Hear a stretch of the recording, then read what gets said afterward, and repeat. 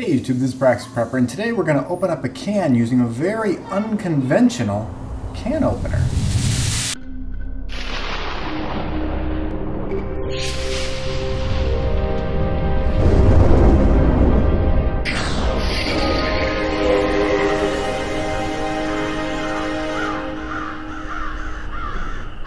Yeah, so it's, um, it's not the whisk, it's, it's just that.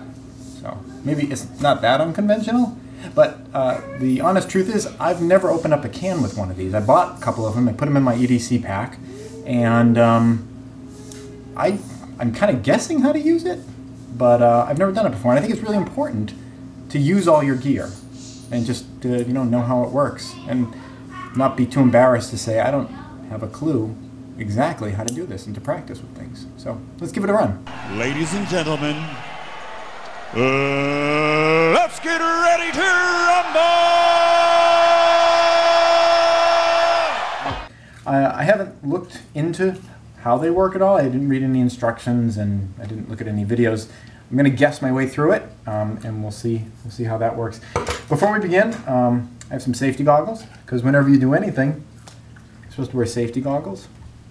Actually, these are swimmer's goggles. These are in my kitchen because I use them when I cut onions. Although the other day I, I cut five onions, and even with these, my eyes were still watering underneath. I think the gas went in my mouth and then kind of came up to my tear ducts from behind. I'm just kidding. I'm not really going to wear those. It's sort of a joke. Was it funny? Did you laugh? Yeah. I had some some gloves here, but I'm going to see if I need the gloves. I just grabbed the gloves because it kind of has sharp edges. I don't know if it's going to like be cutting into my skin while I try to use it. So let's uh, let's give it a, a try here. I'm gonna. It looks like there's a little hook right there, um, and I, I, bet you kind of hook that onto the bottom edge of the the lip, and then it's kind of a blade, and I bet you kind of pivot it. Oh yeah, and it cuts right in, just like that. That's pretty easy, actually. A little more time consuming than my usual can opener, which is not a electric model or anything. It's just a regular uh, hand can opener, but it's a little bit more time consuming. This is a little more time consuming than that one. But uh, yeah, that's pretty easy.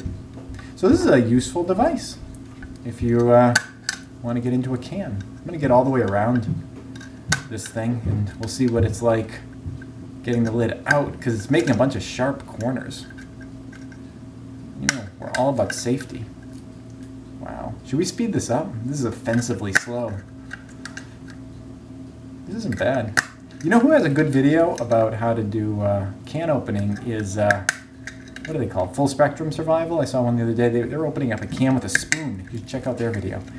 Didn't look like a particularly efficient way of opening up a can. It would be the last way in the world you'd want to open up a can, but it would, they got the can open. They kind of just took the spoon and they were rubbing along the, the edge lip there for a while. And uh, it kind of rubbed the spoon down and it rubbed the, uh, the can open and uh, they got it open though. Yeah, this is working all right. So this is definitely a good thing to put in your pack. It's very small. It only costs a couple bucks, and it gives you access to food resources that you might find in a post-apocalyptic, zombie-infested environment when we're all going to be eating cat food, dog food. Okay, so I, I, got the last little thing here, and look, it's kind of coming up. I'm going to be careful. I, it might have made razor sharp edges on the edge there. Oh, that's beautiful. That's beautiful. Madras Sambar Indian, um, whatever you call it. Chutney? I don't know. I like Indian food a lot. Thanks for watching.